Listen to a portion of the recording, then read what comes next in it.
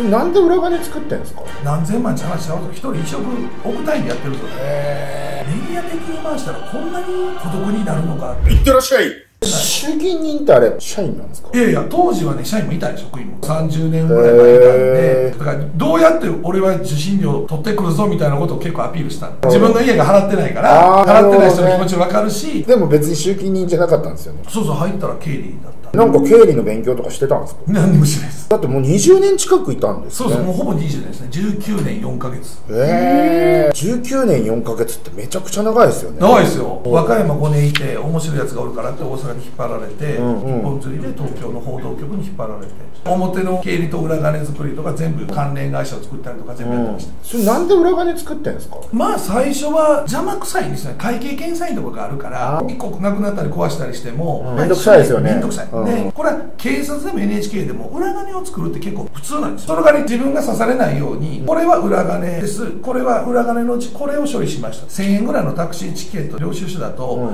うん。いちいち何時から何時までどっからどこ行って何で乗ったって書いてるの大変だからそれはそれでもうお金渡してしまって裏金で処理するっていうのはよくあったこと。それが結局私利私欲のその愛人に貢いだりとかっていうになってきて金額もでかくなってるのを見つけてしまったのでああなるほどね、まあ最初に見つけたのは文春なんですけどそれで調べ出したらこいつもこいつもこいつもやっとるやんけ。何千万って話しちゃうと一人一億億単位でやってるぞそれをまあ見つけちゃったんですよ。文春の発売の前の夜の8時ぐらいに記者会見をして、うんうん。NHK が見つけたみたいなは発表したんですよ、はいはいはい。やいや文春に言われてるやんみたいな。それでちょうどその日に報道局から編成局っていうところに5階から4階に人事路があって、うん。不正を調べる調査係になったそれをやってたらあれもこれも出てくるぞと思ってたらそうすると僕の上司に対して今度「週刊新潮」から電話があって今度ソウル支局長の裏金のことで新潮が来てあって 裏金調査してるやつが裏金使ってるってなってでそうこうしてるうちに海老沢会長が国会に呼ばれて、うん。嘘ばっかりいっぱいついたんです国会で。最近もなんか俺 NHK のなんか収録呼ばれて行ってでなんか全部書いてあるんですよねこういうのに。NHK のシールみたいなのああはいはいはい全部ついてるいやほんとこれネジ一本なくなっただけで大変なんですよ始末書ああそうでしょ、はい、ルールを変えればいいだけなんですよ。本当は。いくら以下のものとかだったら。あーそうね。ルールを変えればいいんだけどルールを変えずに現場でやろうとするから。いやでもほらルールを変えるとそれまた国民に説明しなきゃいけないとかいろいろ面倒くさいんでしょ多分。NHK にそれをする能力がある人がいないなるほどね。そんな改革をする人間は出世しないんです。民間企業じゃないから利益を上げるんじゃなくて今まで通り改革しない何もしない人が出世するっていう。ちょうど辞めた時が堀江さんがこう世間を騒がした時です最近も探した時僕は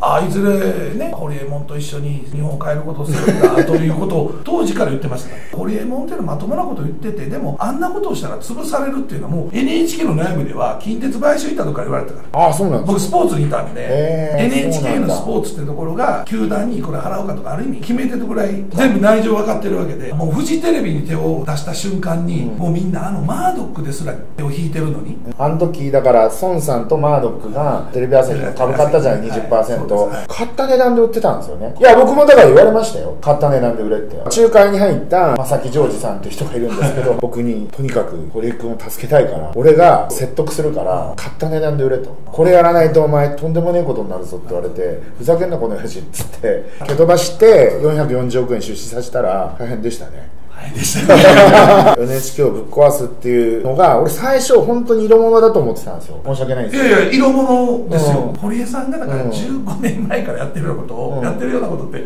失礼ですけど僕はそういう感覚でずっといたんですよ。ただうん全然当たらないライトが。だから文春で内部告発をしても一社も来ないんですよ。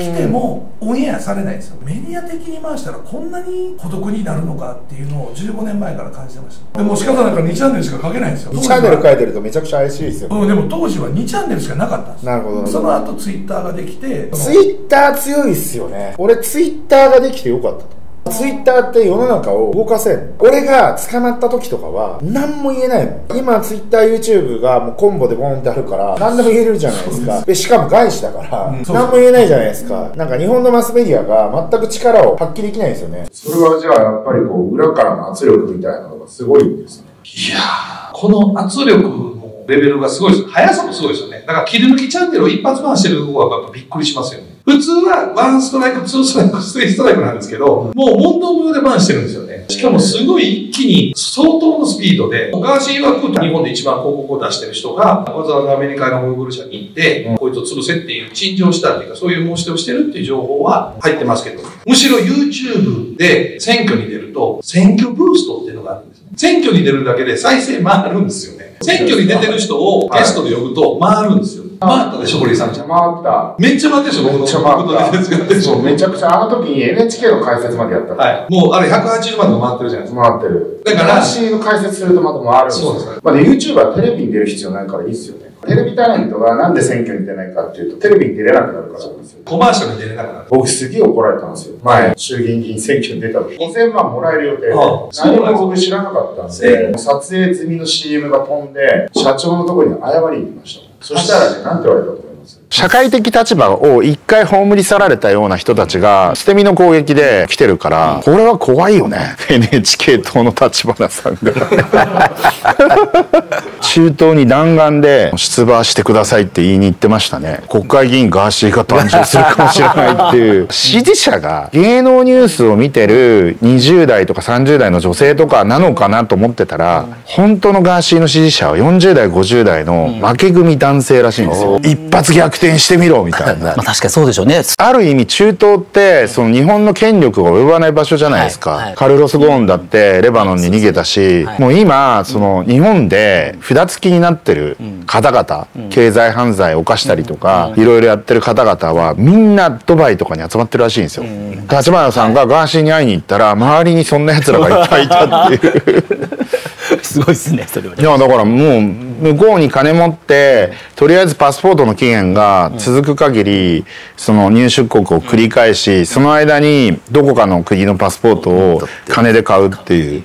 だから彼らの中での情報源はそうやってそのどこどこ国のパスポートは4,000万ぐらいらしいよとか、そういう情報が飛び交ってるらしいですよ、その税がかかんないじゃないですか、仮想通貨の税金も日本だと所得税ってあの雑誌所得になって最高税率かかるわけですよ、だから再投資が難しいわけですよ、だけど今仮想通貨で大儲けしてる人たちはドバイとかシンガポールにいてはい。課税所得じゃなくで再投資ができるんでどんどん再投資してどんどん膨れ上がってるっていう、まあ、だけど日本でそういうことやったらもうドバイに逃げりゃいいんだってみんな思っちゃってそこに行っちゃっててネット上からそういう風になってるっていうこともだから日本のマスメディアの方々は苦々しく思ってんじゃないですか。だからそこからありの一決でもしかしたらこのメディアの支配構造が崩れて岸田内閣もやばいかもしれないですよね。なんかやるかもしれないですよガーシーが。ガーシ